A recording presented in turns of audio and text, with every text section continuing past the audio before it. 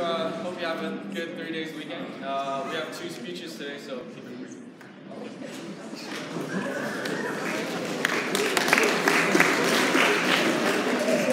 We need one more chaperone to drive the van to JSA this weekend, so please let me, Tristan, Helena, or Jean know if you're interested. Yeah, and if we don't get one, we might not be able to go to Spring State, so please let us know as soon as possible. Thank you.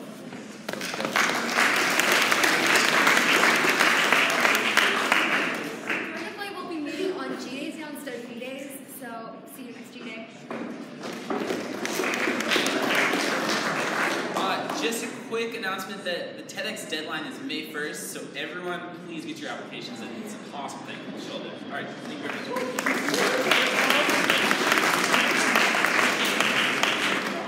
Cross has a game against Salinas today, so we're going to be leaving at 3:45, and the game's at 5:30. Yeah.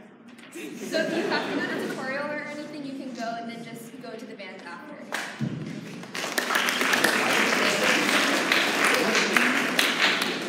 If you're volunteering at the marathon on Sunday, we're having a meeting at lunch today to get ready. So please check your email for more information, and if you can't come, please tell me, Jonah, or Miss Sanford. Um, we also really need volunteers for the 5K registration, so that's happening um, on Saturday and Sunday. So on Saturday, there's three-hour shifts all throughout the day, and then on Sunday, there's one from 6 to 8:30. So if you can't go to the one down the coast, um, that's a great way to get hours. Um, and then for all of the volunteering, you get a really cool T-shirt and then a ton of hours, and it's really fun. So you guys should all sign up.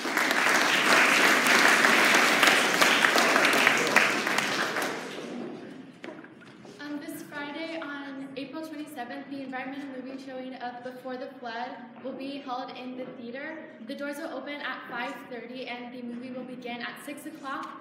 And at 5.45, a raffle will be held. So if you would like to win some prizes, then please be there by that time. Also, remember to submit to the Plastic Alternatives Contest as it will close on Friday.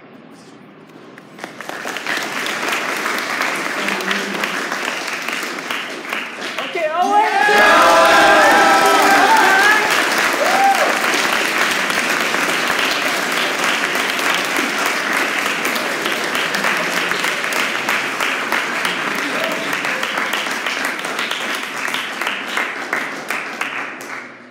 I hated this country when I was 12. At the time of my life, my home country, I believed for a long time that Beijing was where I belong, a city full of different people from different parts of the world, a place where I was close to the other side of my family, my sister, my brother, and my dad. I had a lot of close bonds with my friends in my 11 years of living in Beijing. Towards the end of my sixth grade year, my family and I received news that we were moving to the U.S. to take care of my great grandma. My chest felt heavy with the burden of having to end all the close bonds I developed. I moved to the US in seventh grade in 2014. I was enrolled into a public middle school. There wasn't much diversity at the school, and that made me uncomfortable. The fact that everyone knew each other, and I was the only one that was new.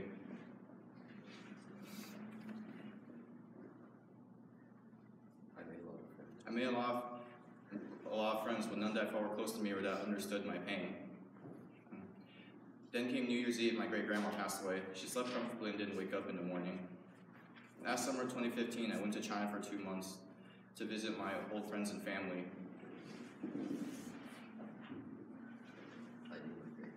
I knew my great grandma had passed away, so I didn't see any purpose in living in the US anymore.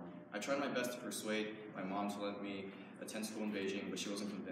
I didn't understand why, and that made me even more frustrated. I began making assumptions, thinking she was hiding something from me or didn't want me to have the freedom to make my own decisions. I cried silently as I waved goodbye to my family at the airport.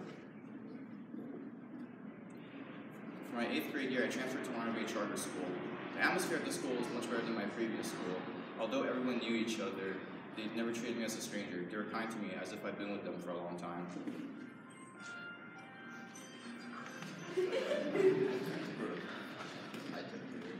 I took tutoring classes to catch up when I missed my seventh grade year at Fulton and came to York my freshman year. I made a lot of friends who became close friends. I finally realized what my mom was trying to convey. My mom said, Stop being so selfish. Sometimes you have to embrace change to make you a stronger person. The ability to embrace change definitely made me a stronger person. I was lacking in skills, confidence, and desire for my academics. My mom, and this experience made me realize I couldn't be a kid forever, and changes like this will happen throughout my life.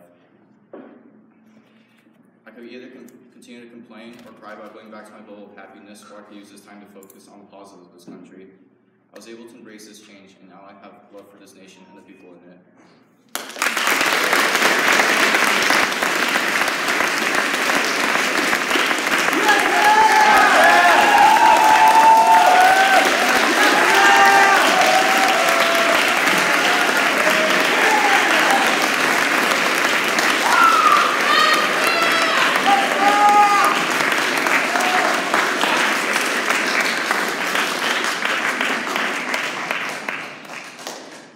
Two thousand six.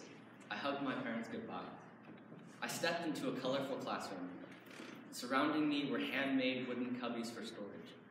In the center of the room sat a plethora of oak benches with little knit pillows neatly placed in the center of each seat. Towering over me was a massive multi-level play structure. Purple, red, green, and blue silks swayed in the breeze from the creaked open windows. I was a kindergartner. This was a Waldorf school. From kindergarten to eighth grade, I sang, drew, knit, and played to my heart's content. We didn't have textbooks, we made them.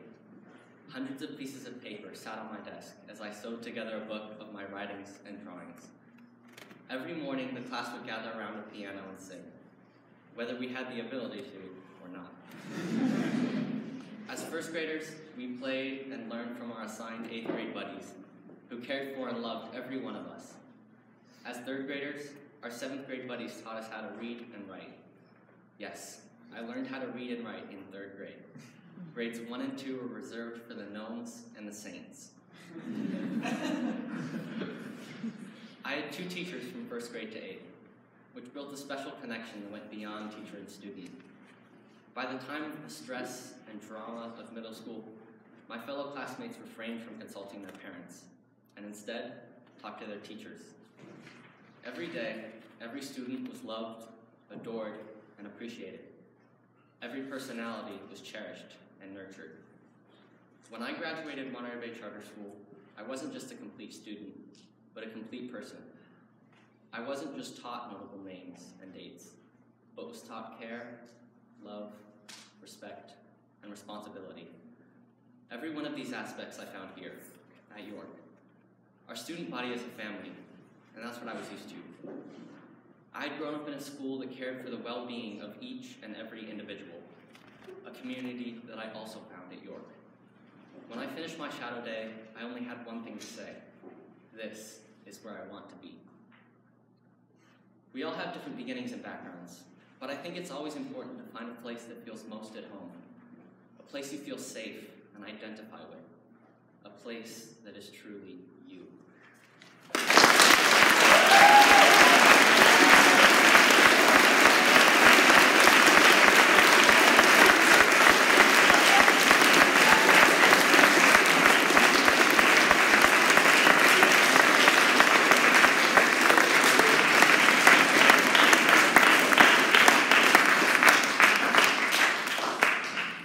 I don't have any transitions. That was beautiful. Um, May 1st, next Tuesday, is also, besides TEDx applications, the due date for service learning.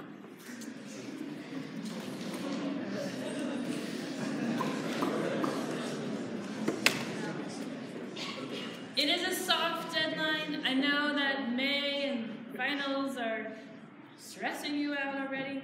Um, so, if you have done your service learning, it's already done, just do it, finish it. Get the reflection done, give me the hours forms, just check it off that list. Don't let it linger, don't let it stress you out. But if you haven't done it, it's all right. You have the summer um, to finish it and to get your forms in. Everything that you need to know, where you need to go to do your reflection, um, where the form is, all of that is on Haiku. Okay? So don't, and lots of places on Haiku, so go to Haiku. Um, we are having a voter registration drive um, tomorrow and Friday, Thursday and Friday, in the Commons at lunch.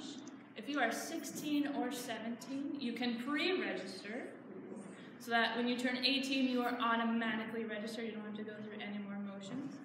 Um, of course, if you're 18 or going to be 18 soon or older than that, please register. If you haven't done so already, register.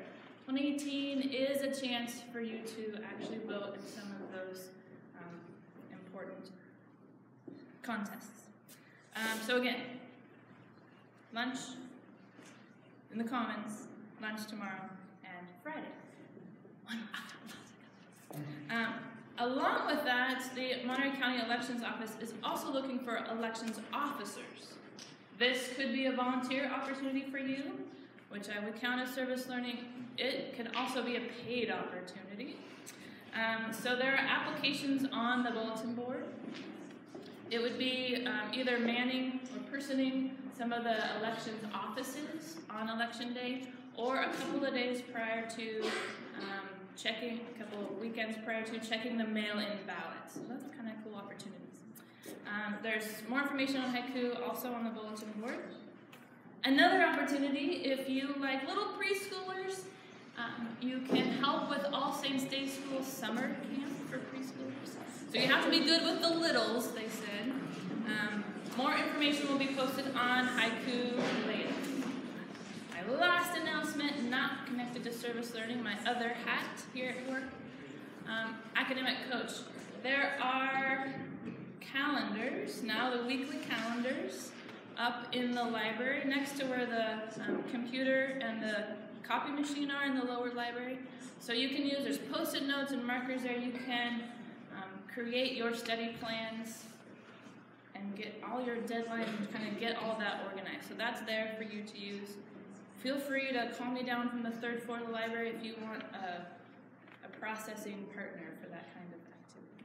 Okay, thank you.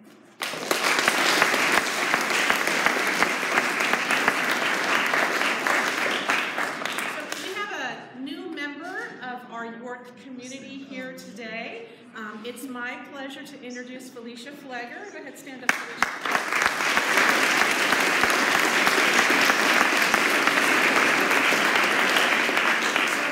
Felicia works in the advancement office. She's our um, communications, marketing, and events manager. So she'll be um, getting to know all of you so she can help tell your stories.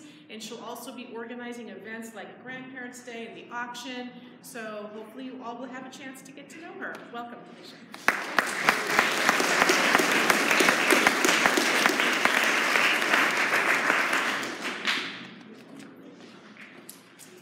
of extra time. Just want to share a story with you guys. If you heard it, just bear with me. So, say if your employer, there's two candidates coming in, and you're having an interview. The first one came in. He's like, "Oh, for this part of the interview, I just want to ask you one question. Do you know the height of this building?" He's like, "Yeah, I was majoring in architect. I studied the heights of all these buildings on campus. I knew. It's about 80 feet. In fact, 85 feet tall." Turned out that to be the right answer. He's like, okay. He goes out, and the second person comes in. Do you know the heights of this building? He said, no, but I'll be right back. He goes out, measures the shadow of the building, and measure the shadow of her height and ratio, find uh, not precise answer. He said, it's about 80 feet tall. He said, yeah, but that turned out to be uh, near answer. Who would you hire? I would hire the person who figured it out. Even though the answer is not as precise, even though that took that person a little bit longer, I would hire that person because he came up with the original answer and with a mind that is not previously engaged. So when you realize, when you know how to think, and empowers those far beyond and knows who knows what to think. Go to class.